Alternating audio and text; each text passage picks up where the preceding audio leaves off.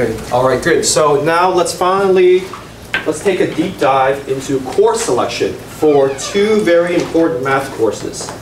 Um, just like voting, it's very important that we understand the issues before we pick.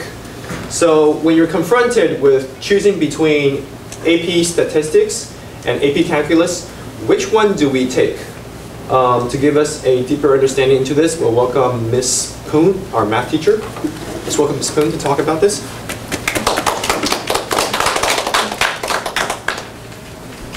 Hi, um, thank you for spending the afternoon with us. Um, my name is Trudy, and uh, I, I'm uh, currently holding, uh, I'm currently working as a statistician.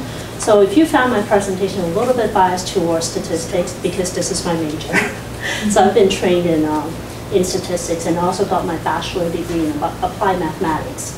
So um, I actually started here not too long ago, and I've been helping um, tutoring students in statistics and mathematics. And um, I think it might be, um, I think like some of parents when they are not uh, from this particular, uh, when they're not in the school area, when they didn't um, get high school education here, it might be like a little bit um, confusing to them, like how am I'm gonna help my kid to decide um, whether they should take statistics or whether they should to, uh, take calculus.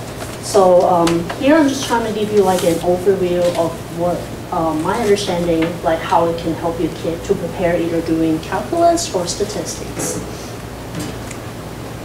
Um, from my personal opinion, the more math, the better, simply just because uh, math helps to train us to think logically. So um, I just uh, this is just the overview of the exam format for AP Statistics and AP Calculus. So you see that um, currently now they break uh, both tests into two sections. One section is multiple choices, and then the other section is um, free responses. So um, both sections would have uh, one and a half hour time. Notice that uh, when you make when you um, do multiple choices, once you fill in the wrong bubble, even you're so close to the answer, you still get the answer wrong. So for free responses, you might still be able to get partial credit depending on what you write in there. So, um, so but you'll see that both the format for AP Statistics and AP Calculus are pretty similar to one another, which also com uh, compose of two sections. Um, the only part I wanted to point out is on the section two on the free responses because on the uh, AP calculus, the free response actually let you um, write out the uh, derivation, how you get from the top to the uh, to, to get to your answers. But for um, for AP statistics, for for the second part, it actually requires you to do interpretation a little bit more. And um, Many years ago when I was uh, working as a TA, I have a student complain to me once saying that um, I only filled in one word wrong and they take five points off from my test. And it was talking about probability. And that word is like either they have to choose it as a probability of event A or event B, or you're talking about the probability of event A and event B. And just having that middle word differ from each other, it actually makes a big difference in statistics. So, um, so with that said, how is statistics different from calculus?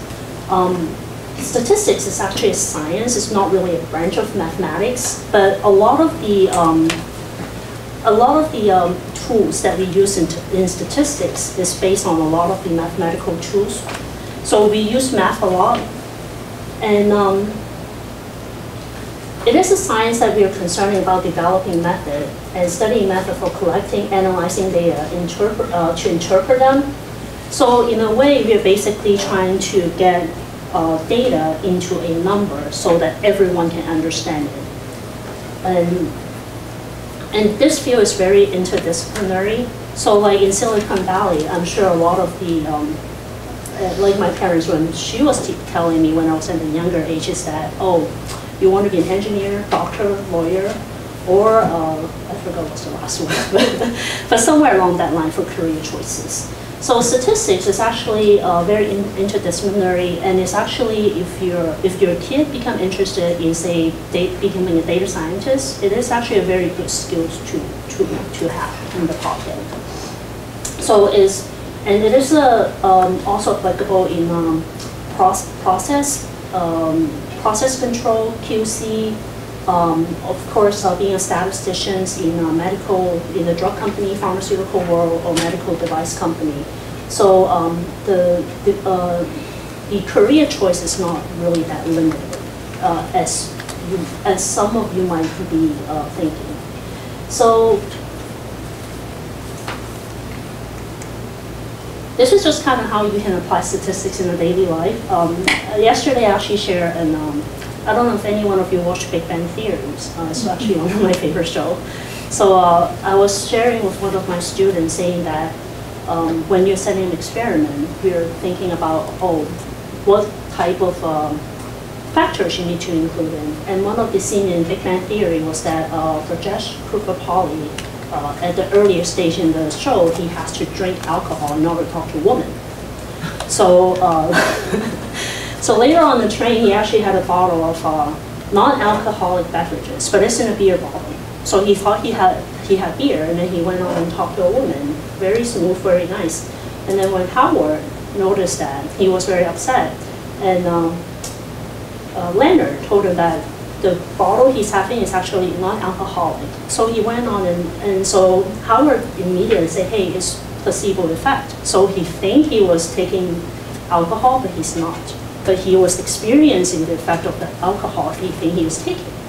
So placebo effect. So if you lo- know statistics, then you will find that joke funny because as soon as Howard told Rajesh that he wasn't taking alcohol, he immediately had the withdrawal syndrome, like he can't talk to women at that point. So um, statistics is actually very applicable in a lot of daily lives. So even like when you um, hear the news talk to you about uh, the poll they take, um, a lot, uh, the average, the means, or maybe like the median, these are all terminology from, from statistics. So it doesn't only help um, your kid to get better in college or to get ahead, but it also helps them to um, be analytical in the daily lives, in the daily um, numbers that you hear from news. So which I think I found very important because when people feed number to you, you cannot just believe in it. You need to think like, where did that number come from? How did it derive, uh, how do they derive that number out? So calculus. Um, calculus is actually a branch of mathematics and it's um, used to finding properties of uh, derivatives and integrals. So um, it's actually a, a, branch of math that study um, small changes.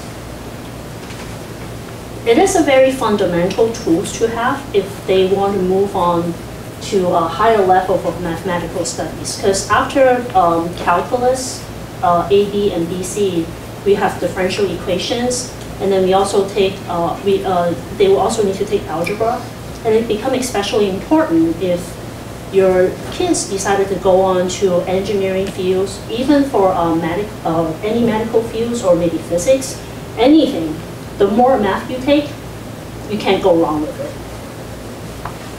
So it is the cornerstone to a lot of the um, to a lot of different areas, like I mentioned, um, statistics included.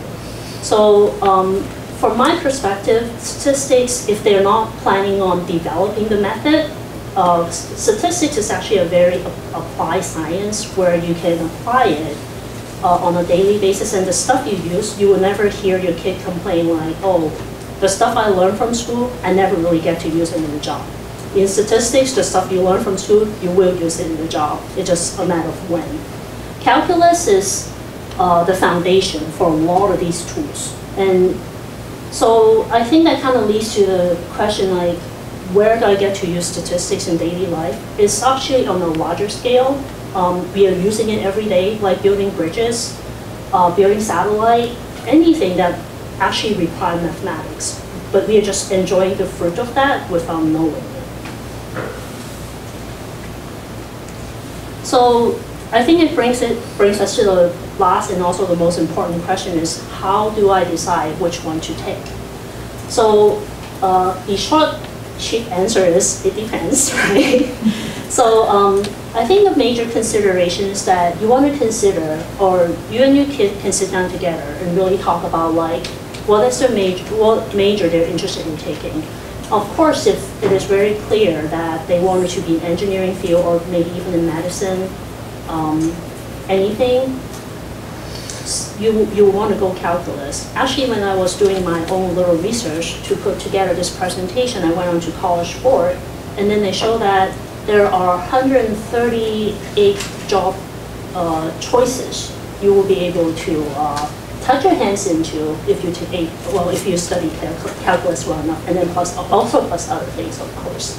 So um, it really depends on your interest, um, where you think it is. But I think if you're, um, if you're, if for a lot of Silicon Valley parents, uh, maybe computer science, computer engineering is something your kid is interested in. Calculus is definitely the way to go. And then if your kid is not so strong in math, but maybe they like to write stuff a little more, be a, like, like a more deep thinker, statistics may be something they want to consider. Like I said, it's a very applicable science in um, a lot of different fields, and um, especially now there's more um, career choices being derived out from not just um, calculus, but also from a combination of subjects. So it doesn't hurt to learn more in terms of the variety of the classes you're taking. So um, I'm just, this is my last slide. I'm just curious, do you guys have any questions for me that you just want to ask?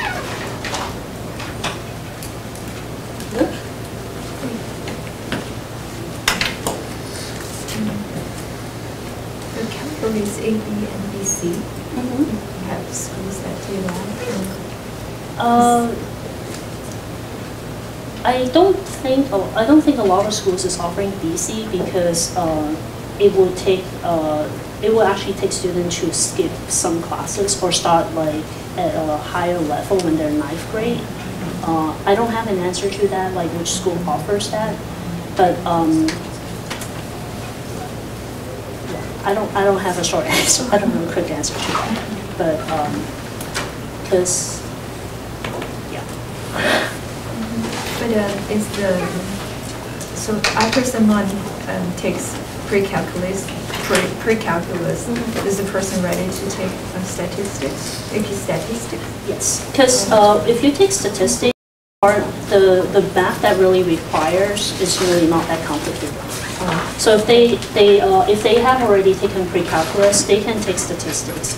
Most of the statistic problem, like the second part of the exam, is actually from uh, knowing how to interpret the data. So uh, earlier, we were just talking about setting uh, different types of study uh, between experiment and observational studies. So the, the most important part of it is knowing the right terminology to use to get the inter, uh, to get the appropriate interpretation.